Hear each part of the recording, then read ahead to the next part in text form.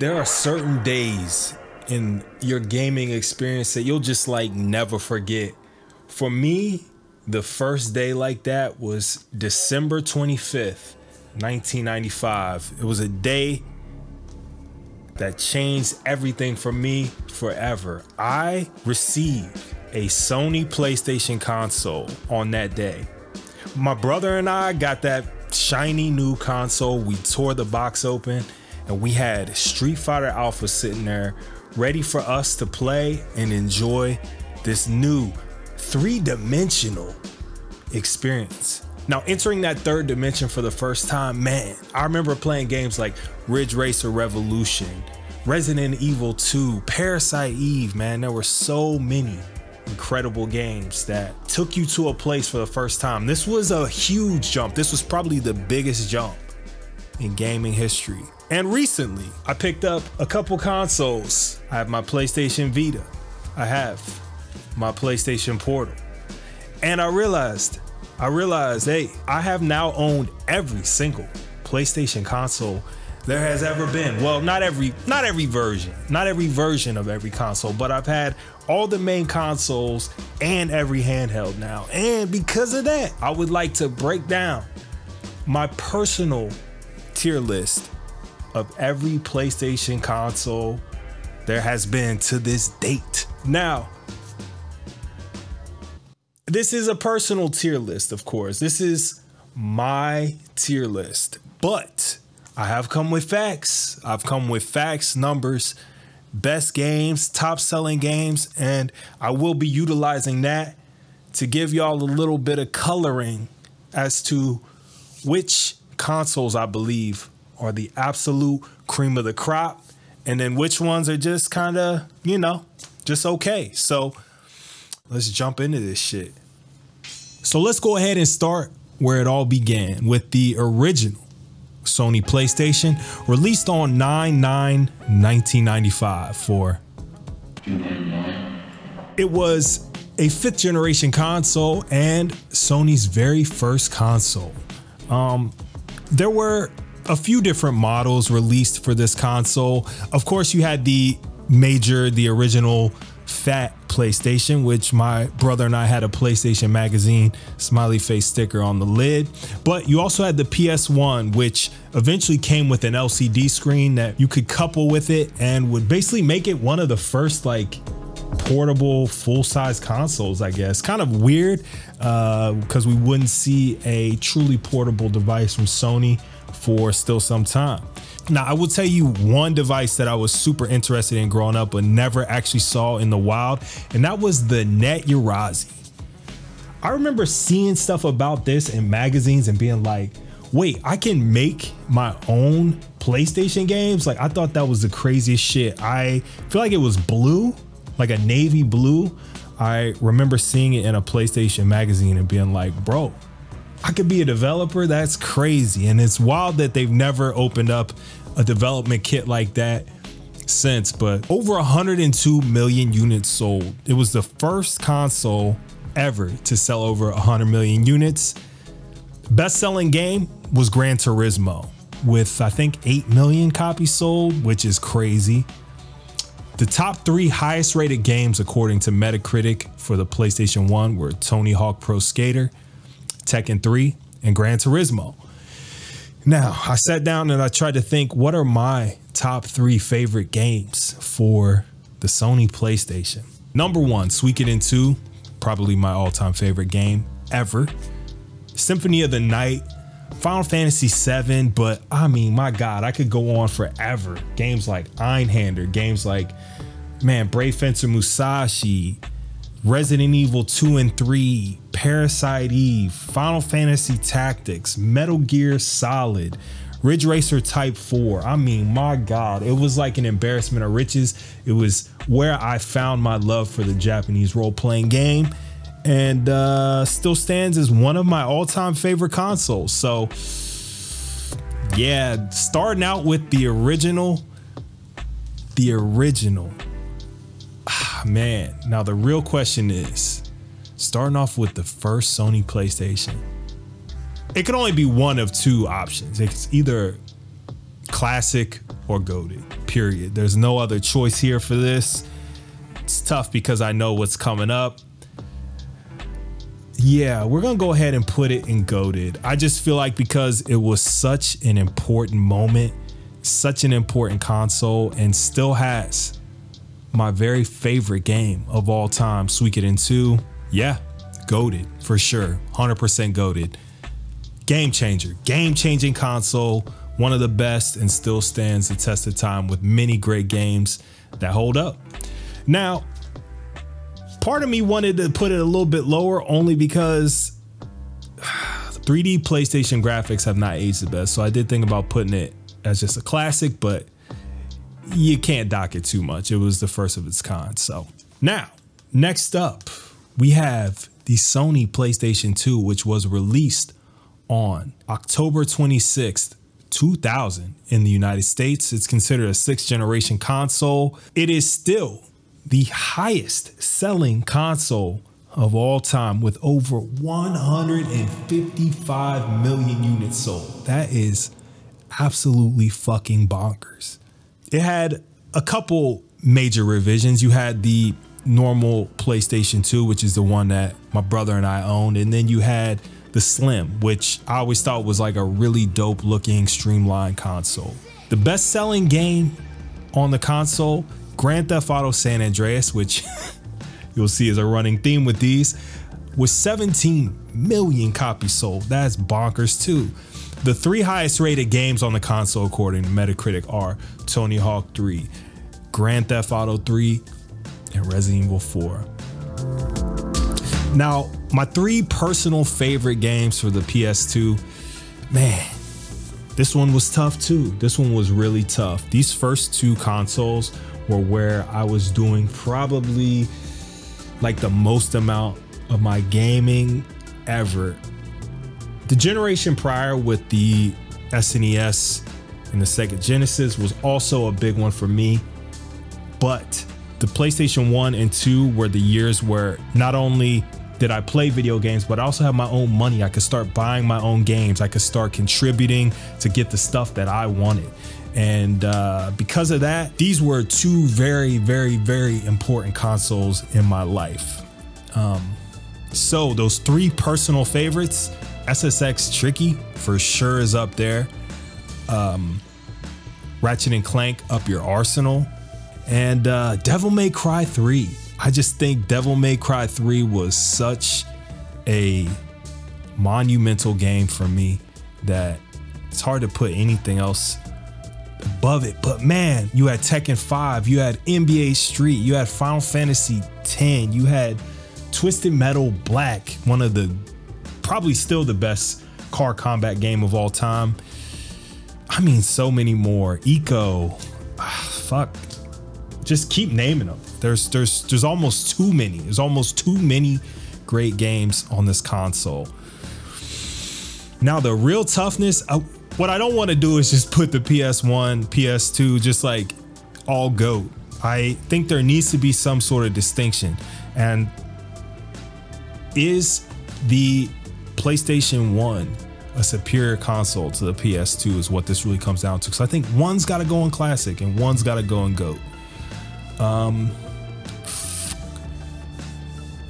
I will say that PlayStation 2 games have generally aged better outside of the two dimensional games.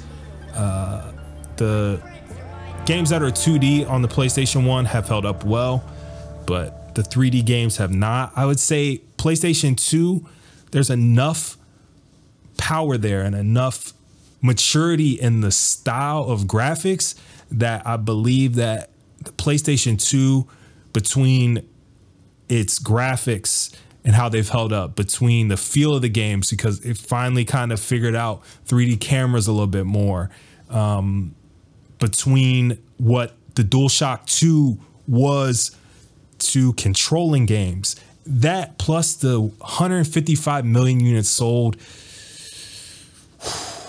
all right guys when the rubber meets the road I gotta make a little switch. I'm gonna put the PS1 as a classic. The PS1, 100% a classic, but the PS2 is goaded. It is goated. Has to be. Has to be.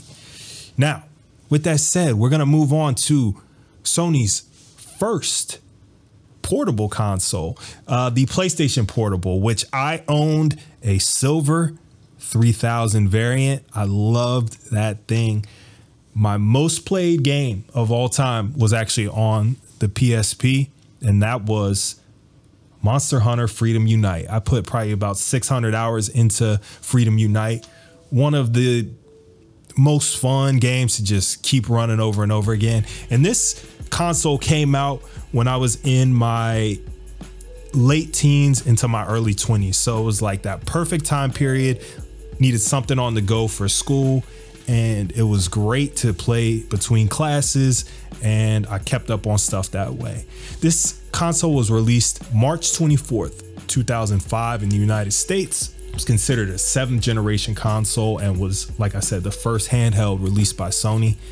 There were quite a few variants of this console. You had the classic PSP, which we'll just say encompasses all of the standard variations, the 1000, 2000, and 3000 variant, which had slight changes, but were all generally the same thing. But you also had the PSP Go, uh, which I always thought looked super cool, but the screen was much smaller. And if I remember, it also worked as a cell phone. Like you can make calls on your PSP, which looked awkward as fuck. So I never got it, but cool idea. It was like a clamshell design as well, if if I'm not mistaken. Very cool design, but lost a lot of the uh, the swagger of the PSP. And then you had the PSP Street, which I do not remember at all. I only figured this thing's existence out when I was kind of doing research to prep for this and it's a weird looking console. It seems like it's like the cheap variant of the PSP right at the end of its lifespan and wasn't really a particularly impressive console. But the PSP actually sold over 80 million copies, which is kind of crazy considering I believe it was going up against the Nintendo DS at the time, which was just an absolute fucking juggernaut. The best selling game on the console was, once again, Grand Theft Auto was Liberty City with 8 million copies sold. And the top three highest rated games on the console were Chain of Olympus, the God of War game, Grand Theft Auto Chinatown Wars, which was actually uh, higher rated than Liberty City, and Persona 3 Portable, which is a game I motherfucking love. So uh, have to still check out the remaster. Now, my personal top three this was also a really difficult one to really parse out because there's so many different dope types of games on the console. It really had a little bit of everything for everybody. But my three that I had to go to were Lumines, uh, Jeanne d'Arc, and Final Fantasy Tactics War of the Lions. I put a lot of hours into War of the Lions, and I love the ad hoc where you could play with other people uh, and against other people. It was a really cool experience to do, like cooperative Final Fantasy Tactics. Um, also, they added my man Balthier from FF12. So dope, dope, dope. But then you also had Freedom Unite. You had Crisis Core. Um, also, for me, Persona 3 Portable was up there. Patapon. I mean, my God, there was so much to play on the PSP. Still gotta be Sony's best portable console. I don't want to bury the lead, but it's just like it was the perfect time period. Like I said, I was in college and I was on the go a lot. And I wasn't around my console as much, but I had homies that also had PSPs and we'd ad hoc up and play different games. And it was so much fun to have this relatively powerful console in your hand um, and able to play anywhere you want it. So I wouldn't say that the PSP is goaded because while it is an incredible console, it didn't change the game looking back at what Sony has done since, didn't really create a whole new lane for them. Yeah, I'm gonna go ahead and put this one in classic.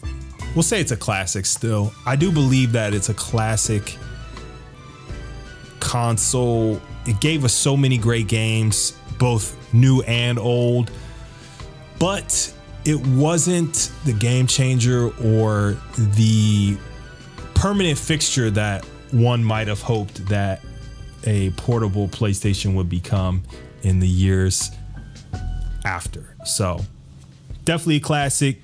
Can't do better than that. Definitely not better than the PlayStation 1.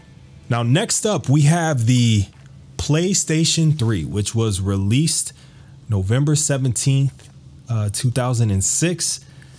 Considered a seventh generation console. This had a few major variants as well. You had the uh, the fat, which was that that that big belly bitch. I mean, it was like mm, very curvy. That was the version that my brother and I had. We had a fat. You also had the uh, PS3 Slim. Lost a little weight, got a little, you know, cut up. And then you had the PS3 Super Slim, where it just probably lost a little too much weight.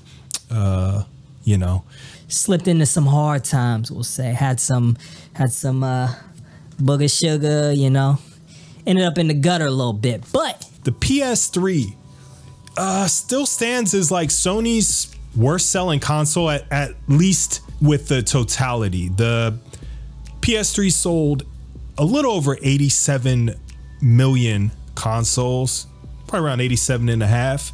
Their best selling game, though, just thrashes everything else so far. Grand Theft Auto 5 sold 34 million copies. When you think about that, I have to check to make sure that's only PlayStation copies because that seems crazy. I, I didn't think about that. It was a multi console release, but even if it's not, that's insane. That would mean like almost one in every two or three people that own the console owned Grand Theft Auto 5. Absolutely bonkers. And we were one of them. I didn't play it, but my brother did. Now, the top three rated games, two of them, two of them are Grand Theft Auto related. There was Grand Theft Auto 4, Grand Theft Auto 5, and then Uncharted 2 was the third highest rated game according to Metacritic. Now, my personal three favorite games, you know what? I was scrolling back through uh I was I was looking through all of the stuff um that came out on this console and this was probably the hardest one to really decide. Um Arkham City definitely one. Dead Space 2 number two, and Street Fighter 3, which I know is a much older game, but I played a hell of a lot on the console. Now, you might figure out from just how kind of sparse my love for this console talking about it is, but this is about where I started to fall out of love with gaming a little bit. Actually, a lot of it. Let's let's not mince words here. I fell out of love with gaming I had started to do different things. I was making music, I was performing, I was doing shows places and collaborating. I was training martial arts probably more than ever, lifting more and more. And I just had more of a social life beyond my gaming as friends moved away uh, and they themselves stopped gaming as much. PlayStation 3 was a very barren time for me as far as playing games, as far as being a gamer. This was my lowest point in that valley. So, with all that said, you know, and also let us not forget that the PlayStation 3 is the only console that definitively Sony lost. Sony lost to Microsoft for the first time definitively. You know, you can have arguments about other generations and the placement of the PlayStation brand versus the Microsoft brand, but there was a reason that this console kind of floundered. It sold much less than the PlayStation 1 and 2. In the PlayStation 2's case, sold half and it barely outsold the PlayStation Portable, which is obviously a much more niche product. With all that said, with me not playing games as much, not having as much interaction with gaming, not being much of a gamer during this time period. I'm gonna have to go ahead and put this one in Bleh. bleh. I hated that look of that generation with the muddy textures and all that. Um, I hated the price tag. It was way too expensive, way too expensive. That was probably the death knell. Charging five ninety nine back in fucking the the early 2010s was absolutely bonkers. The fat was just so stupid looking. I never liked the look of the console. It wasn't as iconic as the prior consoles that just had a style and a look to them. And yeah, I'm gonna say it might be the only bleh that's on here, um, because the rest of the consoles all have their ups and downs. But I would just say that the PS3 is kind of unequivocally their worst console so far. Um, we'll see how the PS5 plays out, but to me, that's just where I'm at with that. Now, the PS Vita, as I just mentioned, I just got this thing um, about two, three months ago. And so I did not have one back when it was first released, which is was released on February 22nd, 2012. It's considered an eighth generation console. There are a few major variants. There's the normal, which I have. I believe this is the uh, the original original with the classic OLED screen, and then there was a slim, which was a smaller variant, and then the PSTV, which was like a non-portable Vita, which seems kind of weird.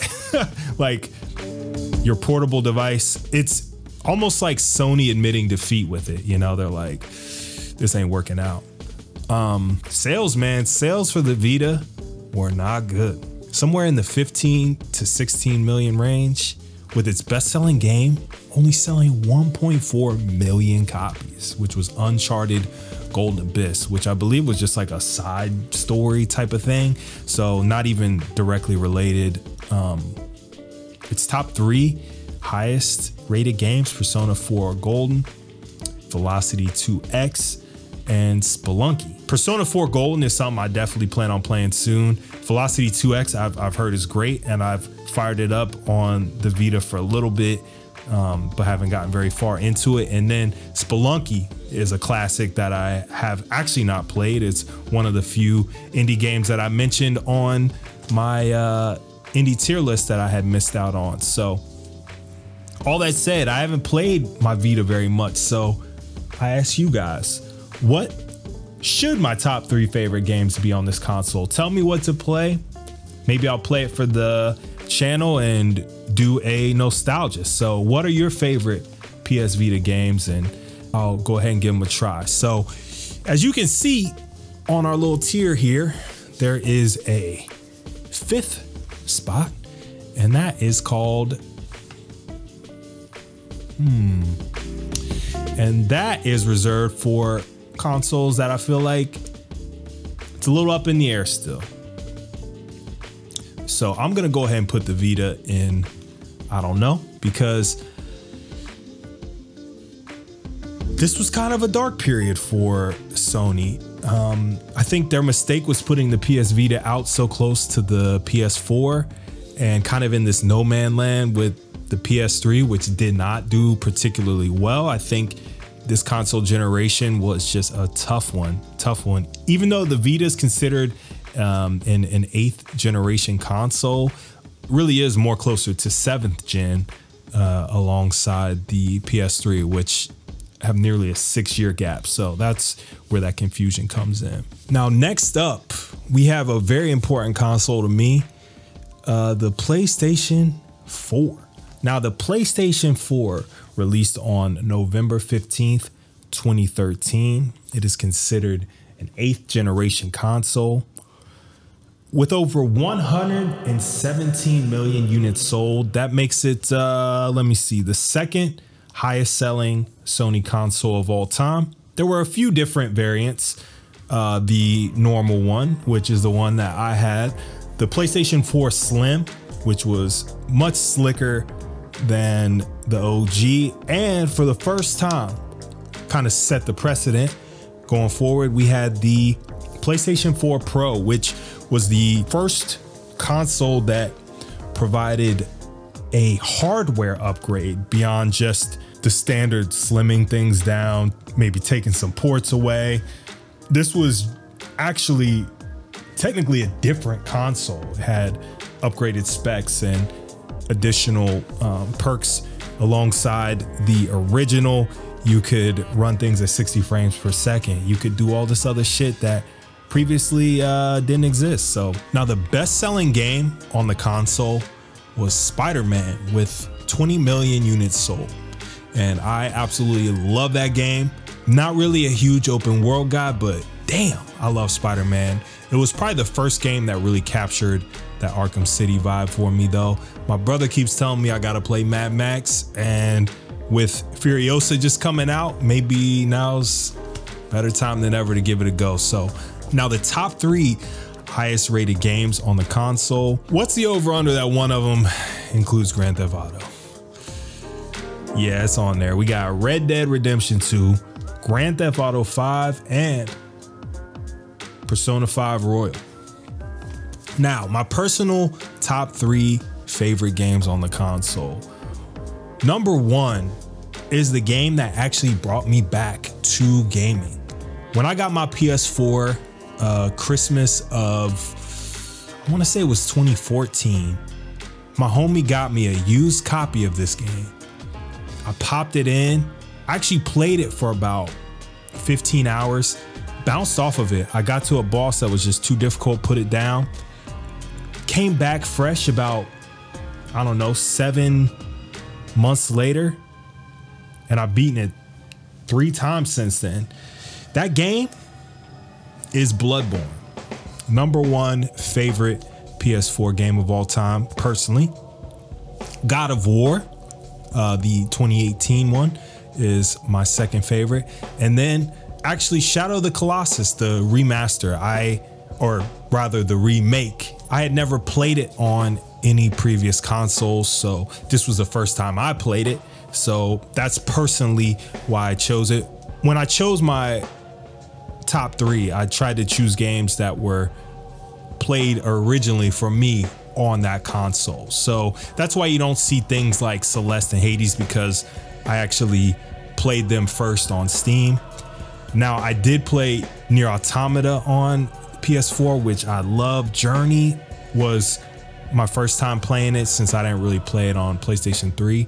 This was my personal renaissance. This is what brought me back to consoles. And I feel like for many of us, this is kind of a common thing. You play a lot of games as a kid, you might even play a lot of games as a teenager, but eventually life starts going, and then all of a sudden, career and everything else is more important.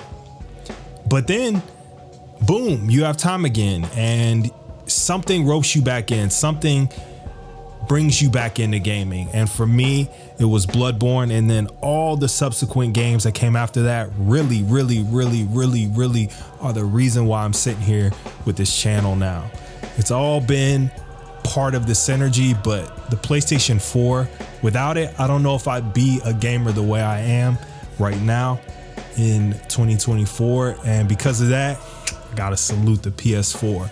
Because of that, for me personally, because this tier list is ultimately my tier list. So, yeah, between its sales, between its cultural value, and its personal value to me as a gamer coming back to gaming. I think this is the other GOAT for me. So, PS4 means a lot. It's a really great console, and I believe that it was super necessary after kind of how the PS3 and the PS Vita went for Sony. They needed this. They bounced back and they bounced back hella. They bounced back hella. This was a huge, huge, huge moment for them and ultimately led them to the modern day where the PS5 was released here in the States, actually was released worldwide. Um, November 19th, 2020. And if y'all remember, 2020 finding a PS5 was a bitch. I got lucky. I actually got mine in February of 2021. I had been looking like everybody else, and then I hopped on my local Best Buy's website thinking after weeks of trying, then I'd finally given up. So I'm like, ah, let me just look real quick. And the Best Buy, about eight miles from me, had them in stock. I literally put it in my cart. Didn't even have my Best Buy um, checkout stuff ready because I just this was on a whim. I I had no faith that I was gonna get this thing. So I had to go get my credit card, put the info in, send that email that allows you to log into your Best Buy. I had to wait for that email, put the code in, log in. I'm thinking, hell no, nah, this card's gone. This is gone. But it was pickup only. So I guess bots don't like pickup only. And I got the console. Easy peasy. It went through, and I was like, did I just buy a PS5? And I had it at my house about uh, a week later when I went to pick it up. So, anyway, it is a ninth generation console. There are currently two major variants. There's the classic PS5, which I have discless, and then the PS5 Slim, which I've actually been thinking like maybe I should uh maybe I should cop that. So we'll see. Over 60 million units sold so far, so it's already well on pace to sell more than the PS3 over its lifetime, even with all the difficulties um, getting them out the door at first. Its current top three highest rated games Elden Ring, Baldur's Gate 3, and oddly enough, The Witcher 3, the uh, complete edition. Now, my personal top three on the console Returnal. I love Returnal, one of the most slept on exclusives probably in Sony's whole catalog. Um, love Returnal. Play it if you haven't. Ghost of Tsushima was actually my first game that I played. I had it on PS4 and I held off. I said, let me just hold off and play this on PS5. And I'm so glad I did because that opening scene at 60 frames per second it was just beautiful. It's just like coming, man, I get chills even thinking about it. So good, so good. And then uh my third favorite was It Takes Two. Maybe the best like cooperative playing game outside of something like Mario Kart 8 that I've ever played. It's so good. It's so much fun to play with someone else. Um, I highly recommend it with a friend, with whoever you can get to play it. It's incredible. The PS5, I play it primarily um, for the channel it's a great console to me, but I feel like it still has a lot to prove. And if I'm being completely impartial, uh, despite this Sony PlayStation t-shirt that I have on right now, I think it's still like in this it's good but it's not great mode. I would love to see more really good exclusives. I would love to see more just top tier products. And I know had a stumble out the gate like most did during COVID, just having a hard time getting consoles out the door. But we're well past that now. And I believe that they got to step it up over these next couple years. Well, it'll be interesting to see if we have a PlayStation 5 Pro or what happens next. So, currently, as it stands, I'm going to have to put the PlayStation 5 right in the middle. I chose seven out of 10 because I know it has such like a weird connotation with the IGN scores. But at the end of the day, a seven out of 10 means something is good, just not incredible. It's 70% in most fields would be like, yeah, you did your job. It's doing its job. I feel like the PlayStation 5 is doing its job. It is doing it adequately, above adequate. I've really enjoyed it. I love the dual sense um, haptic feedback kind of changed the game in a lot of ways. But I just feel like much like the smartphone market, consoles are kind of hitting a critical mass. And this is a workhorse of a console for me. There's a lot of great games to play on it, but less and less of them seem to be um, specific to the console. Oh, and the best selling game was Spider Man 2 with 11 million. So that's two consoles in a row where Spider Man has been the best selling game. So definitely play those. I have to play the second one and I have to play Miles. So we'll get to that soon. Finally, I threw this one up. You may have seen it poof magically appear out of a fucking portal. The last one I want to talk about is the PlayStation Portal, which I do have right here. This Batarang looking bitch. Um, surprisingly comfortable to hold. I thought this was gonna suck to hold and like be awkward and weird, but actually super comfy. It's considered a ninth generation console.